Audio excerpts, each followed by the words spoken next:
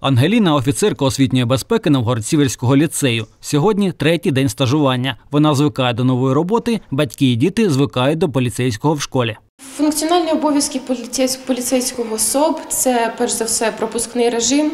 Недопущення сторонніх осіб на територію школи. Якщо лунає повітряна тривога, то е, спуститись, допомога дітям спуститись в укриття. Е, ось і забезпечення освітнього середовища, тобто безпечного, недопущення будь-яких правопорушень. Раніше батьки заводили дітей в клас, тепер їх далі холу не пускають. Спочатку може і незручно, а потім всі привикають зручно. Багато моїх знайомих, які знаходяться у великих містах, це вже дуже давно є.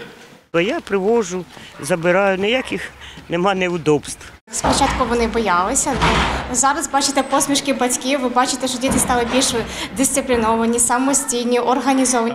Також раніше батьки могли самі забирати дитину з бомбосховища після тривоги. Тепер дітей виводять вчитель та поліцейський.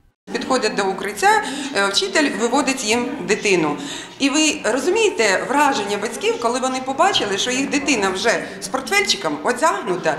Вони навіть на руки взяли, розцілували і кажуть, Боже, ти сам одягнувся, ти сам уже портфельчик одягнув, і ти вже готовий, я тебе забираю. Враження, що діти вже привчені до самообслуговування. Ангеліна має звання капітана поліції, служить уже 5 років. До цього каже, її робота у відділку була здебільшого паперова. Щоб працювати в школі, пройшла п'ятиденний курс навчання.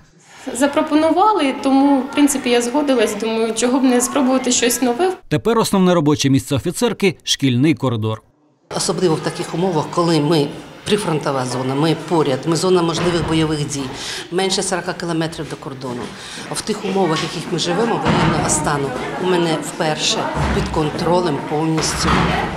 Ось тут знаходиться приміщення. Я знаю, що стороння людина не зайде. За необхідності офіцерка може перевірити відвідувачів за допомогою металодетектора. Включається, тобто якщо є, там, наприклад, метал, то він повинен реагувати таким звуком. Ось. Але ми не всіх перевіряємо.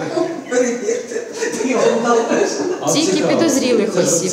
Особливо я хочу сказати, така небезпека з'явилася, коли з'явилися повідомлення про замінування.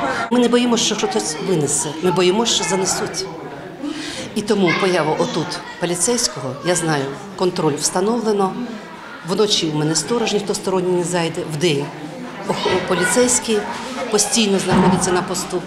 Я вперше спокійно спала. Проєкт офіцер освітньої безпеки запроваджений у дев'яти прикордонних областях. На території Чернігівської області офіцери працюють у 65 закладах освіти. визначено заклади освіти, які є більш, е, більш наближеними до зони ризику, тобто до зони бойових дій та кордонів. Це такі громади у нас, як Новгород-Сіверська громада, Корюківська громада, е, Чернігівський район та місто Чернігів. Зі слів Сергія Дерев'янка, до кінця навчального року в школах працюватимуть поліцейські. Їх роботу фінансує держава. В майбутньому передбачається, що офіцерів служби освітньої безпеки набиратимуть з цивільних осіб, які пройдуть відповідне навчання, а зарплати їм платитимуть громади або заклади освіти. Подальшому розглядається можливість укладення договорів з закладами освіти на присутність поліцейського офіцера безпеки. Ми можемо запевнити всіх батьків, е, що е, витрати вони на даний проєкт ніяких не несуть. Олексій Коцепчук, Марина Кірієнко, Віталій Коровко, Валерій Циркун, Суспільне новини, Чернігів.